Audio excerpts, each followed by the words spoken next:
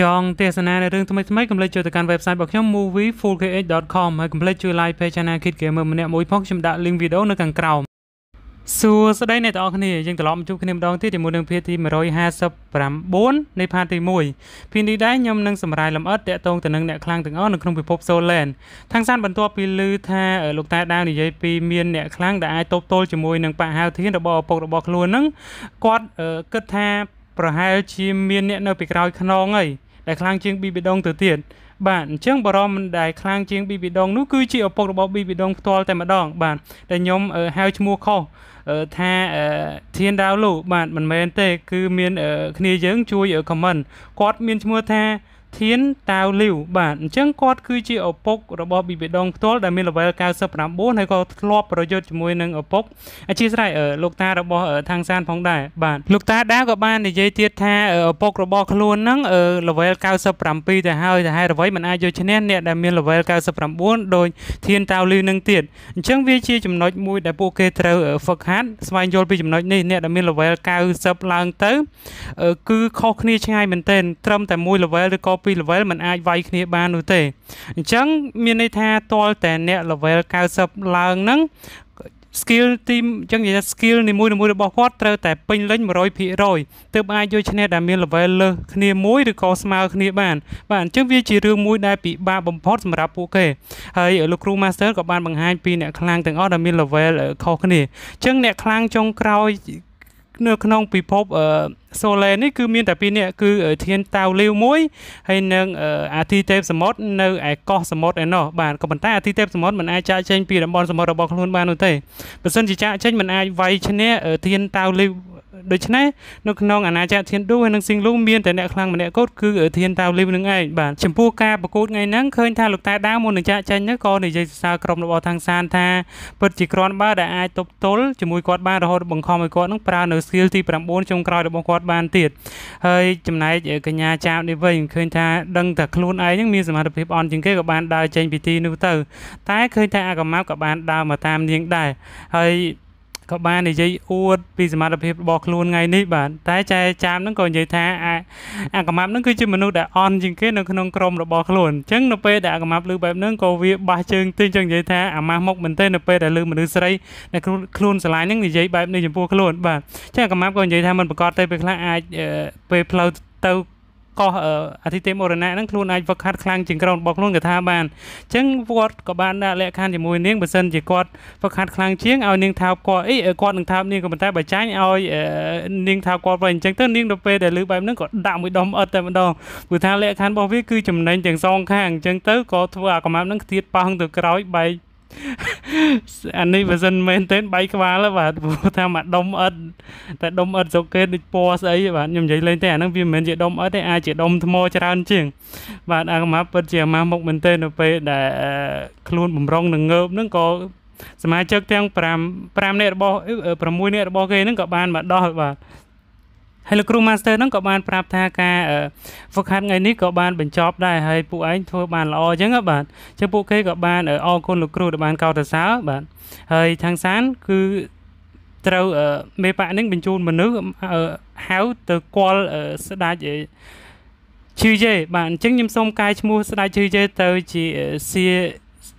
ជាយេវិញបាទអញ្ចឹងដោយសារតែខ្ញុំអានពាក្យនឹងខុសដែរអធិស្ឋានផងអញ្ចឹងឃើញថាທາງសានក៏បានគោរពស្ដេចនៅវាំងបាទហើយស្ដេចមានរឿងសំខាន់មួយចង់ប្រាប់ທາງសាន បាទអញ្ចឹងគឺជារឿងរបស់ព្រះបុត្រាខ្ញុំតែងតែហៅថាឈឺបេងបាទអញ្ចឹងខ្ញុំសូមកែទៅជាជាជាពឹងវិញបាទអញ្ចឹងឈ្មោះចិនបាទខ្ញុំអានអត់ត្រូវទេសូមអានថាជាពឹងវិញអញ្ចឹងជាពឹងព្រះបុត្រាជាពឹងហ្នឹងក៏បាន យាងមករកថាងសានរួចហើយក៏លុតជង្គង់អោនគោរពថាងសានដូចជាឪពុករបស់គាត់ចឹងបាទរបស់ត្រង់ចឹងបាទចឹងថាងសានពិតជាភ្ញាក់ផ្អើលហើយទទួលយកមិនបានទេនៅពេលដែលព្រះអង្គនឹងលុតជង្គង់ដាក់ខ្លួនបែបនេះតែតាមពិតទៅព្រះបុត្រាជាពឹងនឹងចង់អរគុណថាងសានដែរព្រោះថាពីមុនព្រះអង្គធ្លាប់មើងងាយប្រមាថថាងសានច្រើនដងក៏ប៉ុន្តែថាងសានបែរជាជួយឪពុករបស់ខ្លួនបែបនេះទៅវិញបាទហើយមួយទៀតអឺ ព្រះបត្រានឹងចង់យកថងសានធ្វើជាគ្រូរបស់ខ្លួនផ្ទាល់ឲ្យថងសាននឹងបង្ហាត់ខ្លួនថែមទៀតបាទអញ្ចឹងសំណូមពរមួយនេះគឺថងសានមិនអាចបដិសេធទេភ្លាមនោះដែរនៅពេលដែលចឹងនិយាយថាអ្នកទាំងពីរនិយាយគ្នារួចហ្នឹងព្រះស្ដេចជាជាយេហ្នឹងក៏បានចេញព្រះរាជបញ្ជាឲ្យថងសានត្រូវคลายជា គេហៅថាគ្រូបាទគ្រូបង្រៀនរបស់ព្រះបត្រាឈឺពឹងជាពឹងបាទអញ្ចឹងតាំងសានត្រូវតែទទួលយកភ្លាមភ្លាមរួចហើយព្រះអង្គក៏បានប្រទាននៅងារមួយទៀតគឺហៅថាអបរាជបាទគឺជាអ្នកបង្ហាត់បង្រៀនគ្រូហ្នឹងបាទអញ្ចឹងឧបរាជនឹងមានឈ្មោះមួយទៀតថាឡាន់ហាវបាទឡានហាវបាទពិតជាពិបាកអានមែនទែនហើយបន្ទាប់មកព្រះអង្គក៏បញ្ជាឲ្យកងទ័ពរបស់ទ្រង់យក វត្ថុបុរាណមួយប្រភេទចូលមកឲ្យខាងសានដើម្បីសម្គាល់ងាររបស់ឧបរាជមួយនោះបាទឧបរាជថ្មីឡានហាវ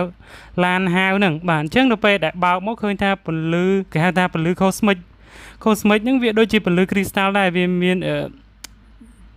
ពលឺភ្លឺពណ៌ពណ៌រាងទឹកសមុទ្របាទភ្លឺខ្លាំងមែនទែនអញ្ចឹងខាងសានធ្លាប់មិនដែលឃើញរបស់នេះពីមុនមកទេនេះជាលើកទី1ដែលខ្លួនបានឃើញរបស់កម្របែបនេះអញ្ចឹងរបស់នេះវាពិតជាអស្ចារ្យជាងការគិតរបស់ខ្ញុំទៅទៀតបាទអញ្ចឹងពេលហ្នឹងមេប៉ានីនក៏បានប្រាប់ខាងសានឲ្យទទួលយកភ្លាមទៅខាងសានក៏បានងាកមើលរួចហើយក៏ងាកមកកាន់ស្ដេចឈីយេវិញបាទរួចហើយក៏ៀបថាទទួលនៅព្រះរាជបញ្ជារបស់ទ្រង់ពីពេលនោះតទៅ បាទអញ្ចឹងខាងសានពិតជារំភើបមែនទែនបាទហើយខាងសានមកដល់ផ្ទះអីបន្ទប់វិញមិនទាន់ទេក៏បើកវាថាអង្គុយមើលរបស់នោះរហូតហើយចាប់ដើមឆ្ងល់មិនចឹងនិយាយថាពន្លឺរបស់វាភ្លឺខ្លាំងបាទហើយ អាវាថាជ្រុងរបស់វាមួយមួយគឺថ្លាបាទមិនដឹងថាខាងក្នុងមានអ្វីដូច្នេះខាងសានក៏ចាប់ផ្ដើមប្រើភ្នែកវិស័យស្វ័យរបស់ខ្លួននឹងចូលទៅមើលនៅក្នុងអារបស់កម្រោរបស់បុរាណមួយនោះដែលរបស់បុរាណមួយនោះគឺខ្ញុំភ្លេចឲ្យឈ្មោះអ្នកនរគ្នាដឹងបាទគឺមានឈ្មោះថាអានឹងខ្ញុំសូមកាត់នៅឲ្យងាយយល់តែម្ដង គឺជាប្រភេទពីរ៉ាមីត cosmic សមុទ្របាទអញ្ចឹងវា វាអាចការពារយើងពីការវាយប្រហាររបស់សត្រូវបាន បន្ទាប់មកថាងសានក៏ធ្លាក់ចូលទៅក្នុងពីរ៉ាមីតដែលមានពន្លឺ cosmic នឹងបានហើយឃើញមានរលកដ៏ធំសម្បើមមួយដែលគ្មានដែនកំណត់បានបក់បោកមកលើថាងសានធ្វើឲ្យគាត់នឹងអឺអឺដួលពីថាផ្ងាក់ក្រោយពីលើកៅអីបាទអញ្ចឹងនៅពេលដែលផ្ងាក់ក្រោយហ្នឹងគាត់ដឹងខ្លួនហើយតែចង្រៃអីគឺអាដុំអឺពីរ៉ាមីតពីរ៉ាមីតពីរ៉ាមីតហ្នឹងក៏ហោះមក មុតថ្ងាសរបស់គាត់បន្តិចបាទអញ្ចឹងក៏ធ្វើឲ្យថាងសាននឹងសន្លប់បាត់ស្មារតីបាទអញ្ចឹងកម្លាំងរបស់វាពិតជាខ្លាំងក្លាមែនហើយជាមួយដំណក់របស់ថាងសាននឹងក៏ខ្ទាតទៅប៉ះជាមួយនឹងពីរ៉ាមីតនោះអញ្ចឹងភ្លាមនោះពីរ៉ាមីតដែលមានពលឺខូស្មិកហ្នឹងក៏ប្រែទៅជាពណ៌ក្រហមឈាមបាទ